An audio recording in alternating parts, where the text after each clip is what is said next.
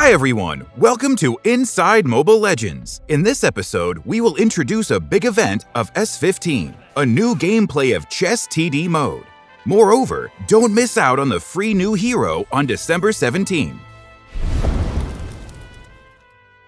Before the start of the new season, we have offered a wave of rewards. Log in on the first day of the new season and you could claim an avatar for free. If your rank reaches Master or above, you could claim Farza Enchanting Witch for free.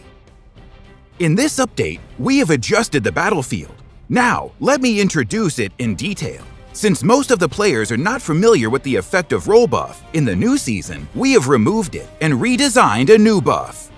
Now after obtaining a purple buff, the magic consumption and the energy consumption will be reduced. Moreover, your hero's HP would be restored after killing a unit, and the cooldown will be shortened. Killing an orange buff monster will grant you extra true damage and massive slowing down effect. Then, we've adjusted the turtle buff accordingly.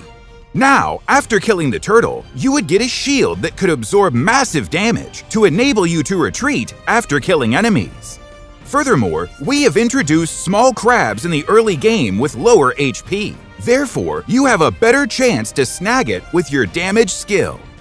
Then, let's take a look at the river, specifically the phase crossing the mid lane. We have added two Lithos tortoises on each side.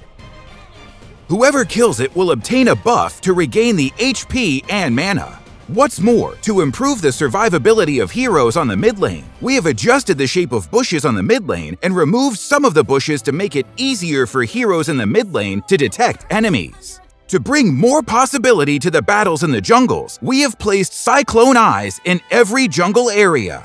When passing through that area, you will obtain the power of Cyclone, which allows you to move forward a short distance or even across the majority of your obstacles. With this power, you could gank your enemies unexpectedly from different angles. Also, you could escape from your enemies and run for your life quickly. This time, Chess TD mode is back. It has brought 8 all-new heroes and one brand new synergy, allowing more methods of playing. Moreover, to help you to understand the gameplay of Chess TD mode better, we have added the feature of Gallery to show you how to get started quickly. What's more, we've added a new ranking system and leaderboards. Strive for the highest rank and leave your name in the leaderboard. Here is your favorite part. Please remember the timetable. On each event date, participate in the activities, and then you could claim the new hero for free.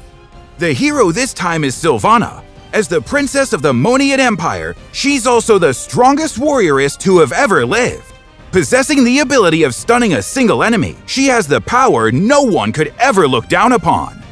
As Christmas is approaching, we have prepared Christmas gifts for you. Pre-order for the mysterious gifts from December 21st to 27th. Don't forget to log in on December 28th to claim them.